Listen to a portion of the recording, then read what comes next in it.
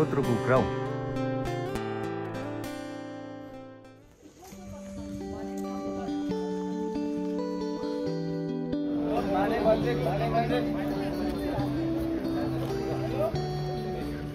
उठ्दा चाहिँ है घाम पनि टङ टङ लागिरहेको। यसो हेरेको चाहिँ सुस्मिताले है घाम लागेर चाहिँ लुगाहरू सुकाउँदै रहेछ।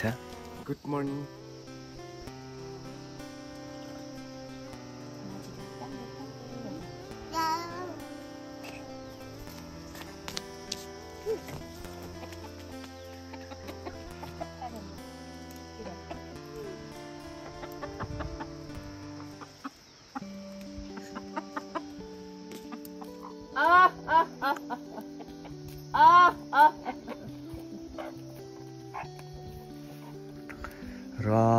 हाम्रो चाहिँ अस्ति दसैँमा चाहिँ एउटा मात्रै खायो दसैँ नभए पनि।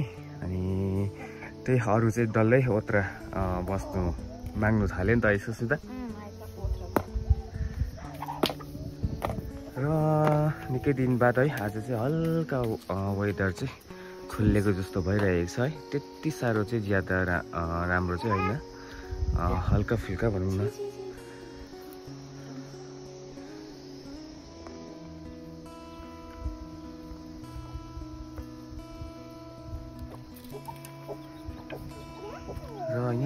चाहिँ रियानले चिङ्ना हेर्दैछ है। चिङ्ना चाहिँ हिजोतिरदेखि चाहिँ निकाल्नु थालिसकेको छ है। कतिवटा निकालिसकेको छ सुन्दा? अहिले त आठवटा चाहिँ निकालेछ कति एघारवटा दिएको थिएन? एघारवटा दिएकोमा चाहिँ है आठवटा निकालिसकेको छ। एक दुईवटा चाहिँ बिगार्छ होला है। त्यही हो। सानो सानो रियान चाहिँ ऊ चिङ्ना खेलाउनु भनेर खोरमै हेर्नु जान्दैछु चल्ला चाहिँ निकालिसकेछ। एघारवटा दिएकोमा चाहिँ है नौवटा निकालिएछ है निकालिसकेछ र चाहिँ सुस्मिताले घाममा निकाल्दैछ। र यसको चाहिँ यस्तो ठोट चाहिँ निकाल्नुपर्छ नि त है। यस्तो निकाल्नुपर्छ अरे। चारो खानु नलाग्थ्यो हुन्छ अरे।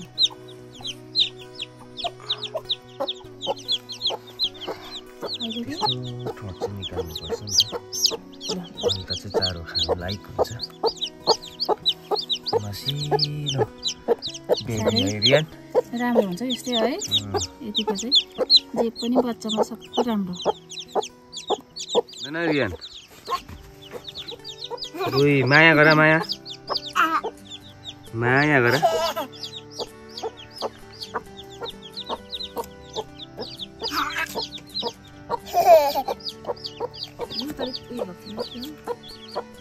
हो? त हाल्छौँ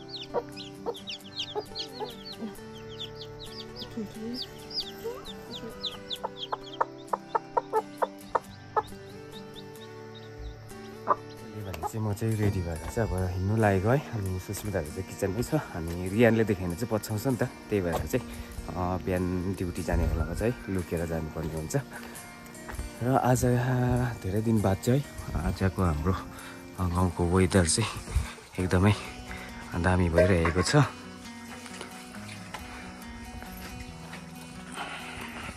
लुगा सुकाउनु भएको माम आज चाहिँ बिहानदेखि घाम लाग्यो है हजुर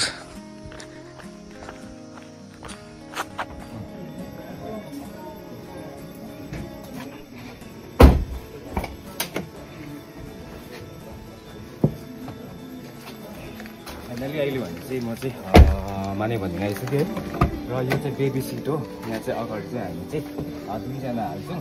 त्यही भएर यो बेबी सिट हाल्नु चाहिँ जरुरत छ। सेफ्टी हुन्छ है। अब चाहिँ एकछिनबाट मेरो टर्न लाग्छ होला है। एक दुईवटा गाडी पछाडि। त्यसपछि चाहिँ म चाहिँ अँ, सुत्के जारी हो। अब भने चाहिँ सुकिया पोखरी आइसके। अनि सुकिया पोखरी आइपुग्दा पनि है सुकिया पोखरीको जुन चाहिँ महल छ आजको चाहिँ एक सुनसानै रहेछ है। चारैतिरै खाली खाली एकदम। तर वेदर चाहिँ आज चाहिँ निकै राम्रो भइरहेको छ है। अब चाहिँ एकछिनबाट अँ, मेरो टर्न लाग्छ। त्यसपछि चाहिँ फेरि पनि माने भन्ने जाने है। त्यसपछि के हुन्छ?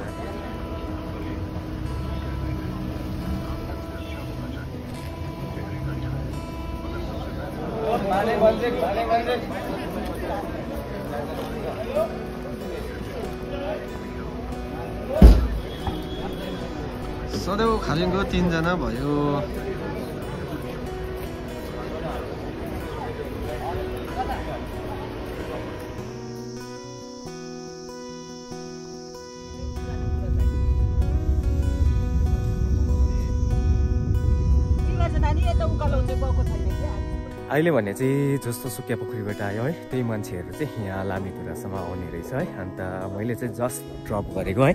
अन्त मेरो गाडी चाहिँ त्यहाँ छ। अनि यता हेर्नुभयो भने चाहिँ यो डल्लै चाहिँ है नेपाल साइड हो है।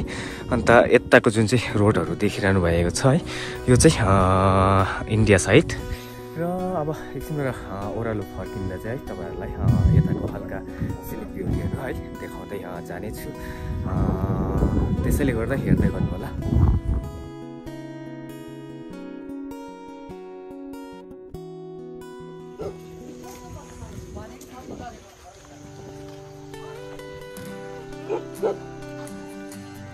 मलाई चिया दिनुभएको खै दिनु त? तपाईँको आइहाल्छ नि अब भरे हेर्नु नि। अब चाहिँ भाउजूले चिया बनाइदिनु भएछ है।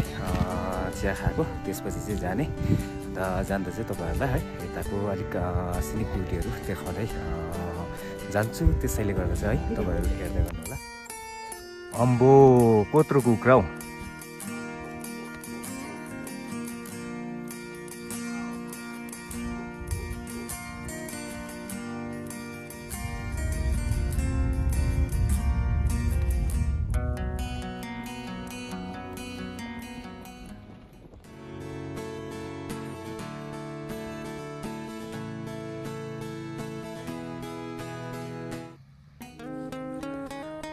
हो यस्तो छ हाम्रो यहाँनिरको है। दृश्य चाहिँ एकदमै शानदार नजारा। तपाईँले हेर्न सक्नुहुनेछ चारैतिर। वा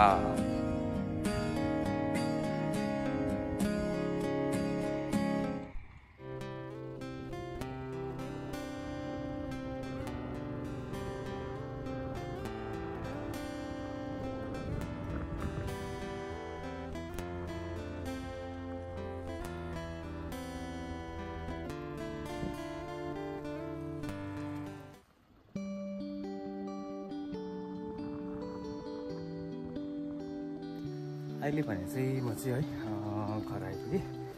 र आज चाहिँ दिनभरि नै एकदमै दामी दिन भयो है। अनि घर आइपुग्दा चाहिँ सुस्मिताहरू चाहिँ छैन रहेछ। अघि चाहिँ मैले फोन गरेर चाहिँ कटेज खोज्नु जान्छु भन्दै थियो है। उयो ल त्यहाँ गयो होला। र मैले चाहिँ नानीलाई मिठाईहरू है लिएर आएको। अन्त त्यही अस्ति भगमा नानीलाई दुध छोडाएपछि के दिँदा ठिक हुन्छ भनेर चाहिँ है मैले एउटा सानो भिडियो चाहिँ भन्नुभयो कि हर्लिक्स दिँदा पनि हुन्छ भनेर चाहिँ अन्त सानो हर्लिक्स पनि ट्राईको लागि ल्याएको छु है। नानीले खान्छ कि खाँदैन। र दोकानवालाले पनि है त्यस्तो नै भन्यो। एउटा अहिले चाहिँ सानो लगेर दिनु। बादमा चाहिँ अब खायो भने चाहिँ है ठुलो हर्लिक्स लिएर चाहिँ दिँदा हुन्छ चाहिँ भन्यो। अन्त त्यही भएर चाहिँ है सानो हर्लिक्स अन्त नानीलाई मिठो दिएको लिएर चाहिँ म चाहिँ घर पुगिसकेँ। खै मिठाई देखाउ न मिठाई। मिठाई देखाउ न। वा कसले ल्याइदियो? कसले ल्याइदियो? कसले ल्याइदिएको? यो चाहिँ आज सुस्मिताले खोजेको कटुस है। एक डेढ घन्टा खोज्दा पनि है धेरै कम्ती खोजेछ आज चाहिँ। हिजो पनि गएको थिएछ तर हिजो चाहिँ निकै पायो भन्दै थियो। आज पनि जान्दा चाहिँ करिब करिब एक पावा जस्तो चाहिँ लिएको रहेछ। र यो कटुस चाहिँ सुकाएर खानु चाहिँ एकदमै टेस्टी हुन्छ। अहिले भने चाहिँ सुस्मिताले बेलुकाको खानाहरू पकाउँदै रहेछ। खानामा चाहिँ आज के छ? खानामा आज आलु र न्युट्रेला सब्जी। अनि? त्यति हो आज सब्जी र भात मात्रै अन्त रियान छोरो चाहिँ हो ऱ्याम्स हेर्दै बसिरहेको छ मिठाईहरू के के के के खाँदै है। अनि म पनि बसिरहेको। र गाइस आजको ब्लगमा चाहिँ बसेको नै। फेरि पनि भेट्छु हजुरहरूसँग अर्को नयाँ Thank you.